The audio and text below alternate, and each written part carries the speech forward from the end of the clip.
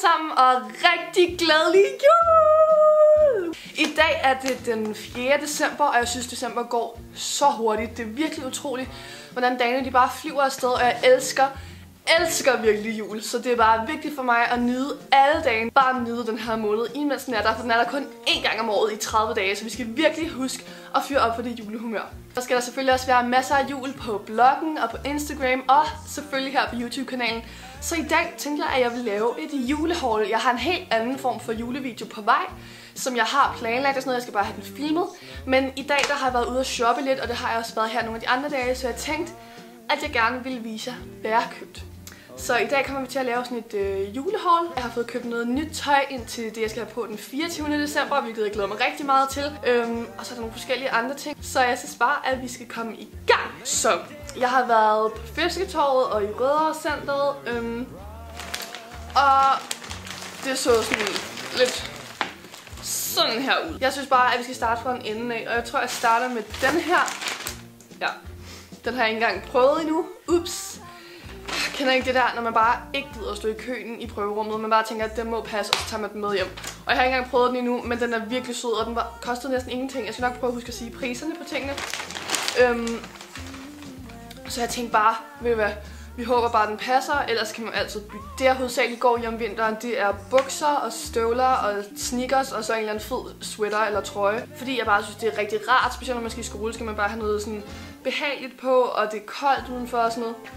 Så derfor så synes jeg, det var tid til at købe en ny sweater, og den her farve synes jeg bare er så fin. Det er sådan, jeg ved ikke, om man kan fornemme det på øh, kameraet, fordi den er ikke sort, den er sådan øhm, navy blue, men næsten mørkere end navy blue. Og så er det sådan en trøje, som ikke er halterneck, men den går... Eller, undskyld, ikke halterneck. Ikke øh, sådan en highneck trøje, men den går en lille smule op, så den sidder sådan varmer her og er rigtig behagelig at have på. Det er sådan lidt fnudret, eller sådan...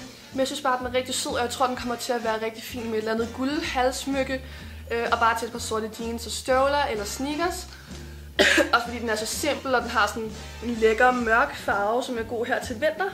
Så den glæder jeg mig rigtig meget til at tage på. Den kostede 100 kroner, hvad den sat ned til fra 180, så det var virkelig billigt. I H&M købte jeg den.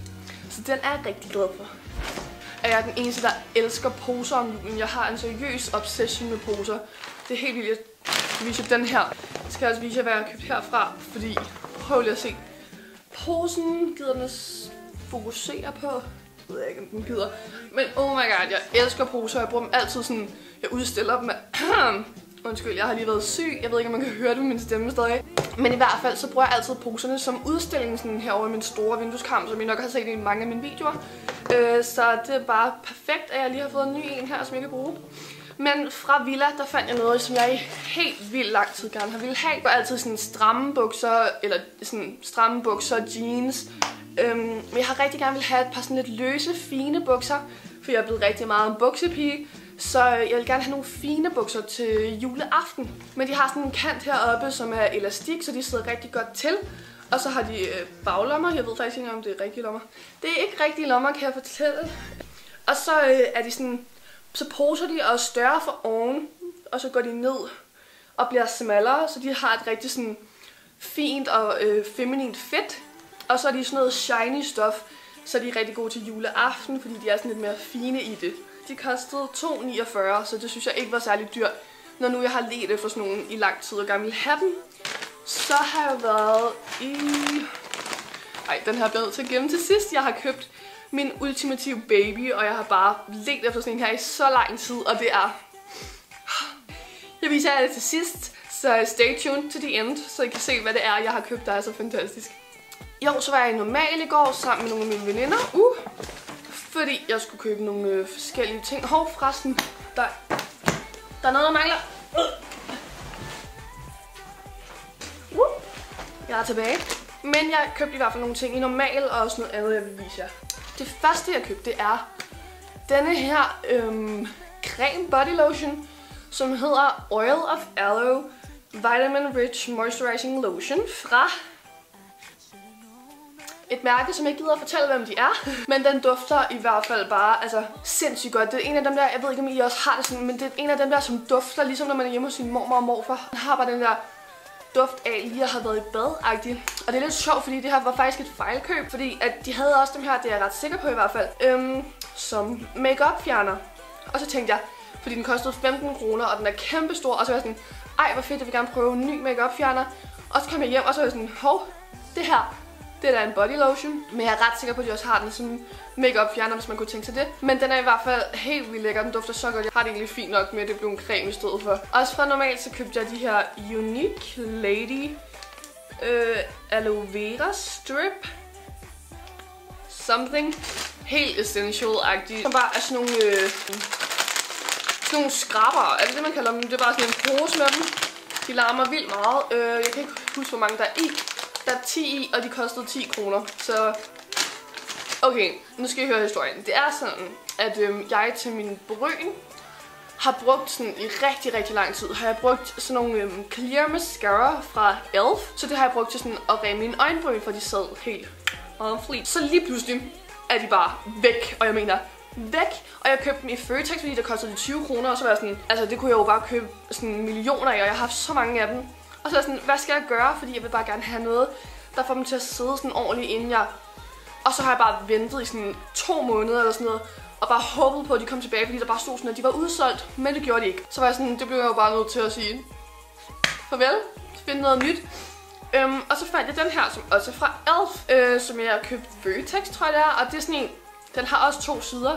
Den hedder ELF Eyebrow Treat and Tame.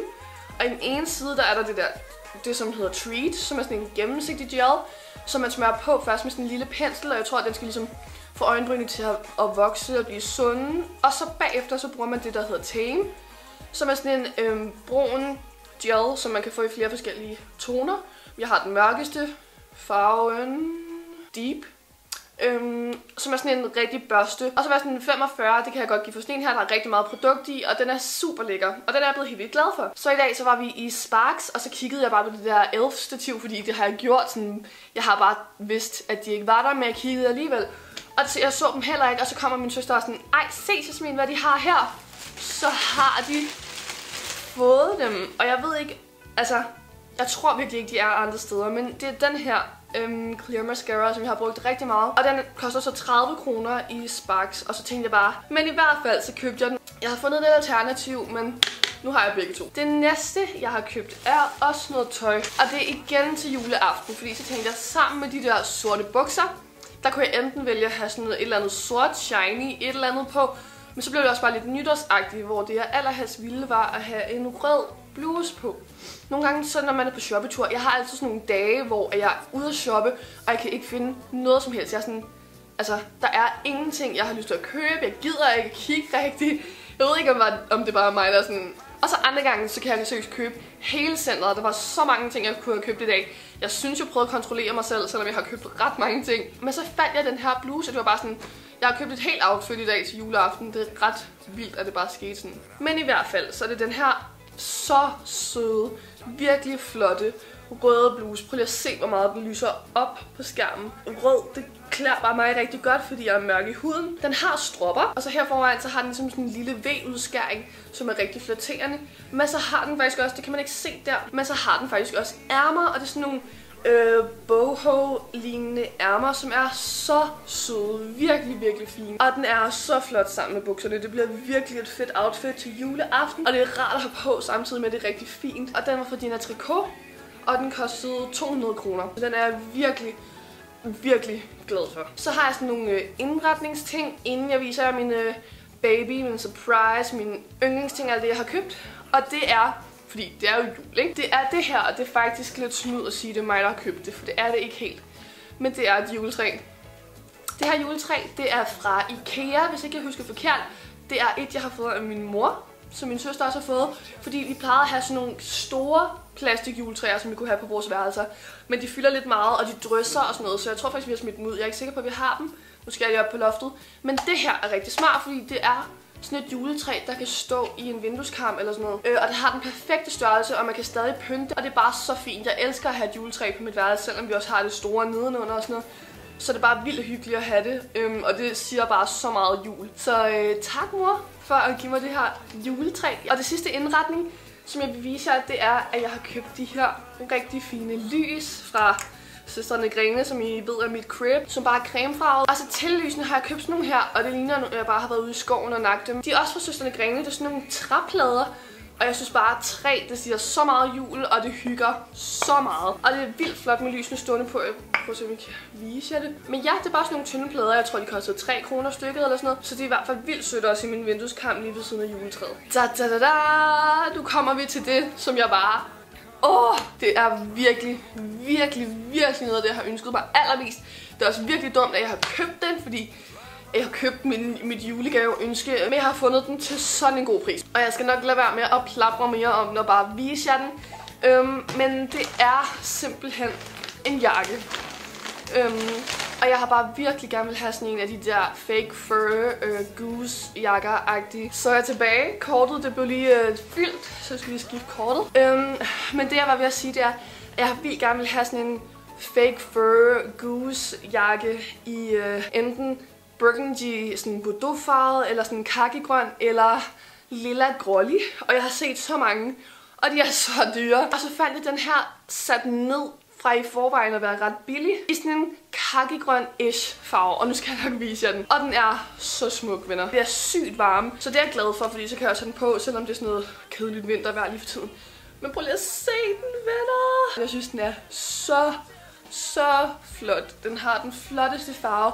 Jeg synes, den ser lidt anderledes ud på kameraet. Den er virkelig sjov her på. Den er virkelig blød. Man har bare lyst til at røre ved den. Ej, hvor smart. Det havde jeg ikke opdaget. Nå, der er en hægte, så man kan lukke den. Mhm. Der er flere hægter, som man kan lukke den. Smart, til smin at tjekke det. Og jeg glæder mig bare så meget til at have den her på. Det bliver min nye yndlingsjakke. Man kan både have den på med stiletter til et rigtig fedt outfit, sådan en fest outfit. Man kan have den på med sneakers, så tone den mere ned, gør den mere casual. Ej, hvor er den flot. Og nu til prisen. Den her var sat ned fra 500 kroner til 300 kroner. Øh, undskyld. Giver I mig den gratis, eller hvad? Så ja, det var et rigtig godt kub. Det var dagens kub. Og den er købt i Only, og øh, den kommer helt klart til at sidde på mig rigtig meget. Det var faktisk alt for det her haul. Jeg håber rigtig meget, at I kunne lide det, jeg havde købt. Der var lidt af hvert. Så skal I huske at gå ind og følge med på min blog. For jeg har lavet sådan en form for julekalender, hvor jeg hver anden dag poster et eller andet juleindlæg. Gud! Jeg sagde den 4. december i starten. Undskyld, jeg mente den 5. Øh, og så skal jeg også gå ind og følge mig på min Instagram. Den har været sådan not so good her på det seneste. Helt ærligt, så så har du faktisk ikke gjort det helt godt. Det kommer til at ske nu. Der kommer til at være masser af juletema og julestemning der. Og også husk at subscribe her til kanalen, fordi der kommer i hvert fald til at være en masse nye julevideoer her lige om snart.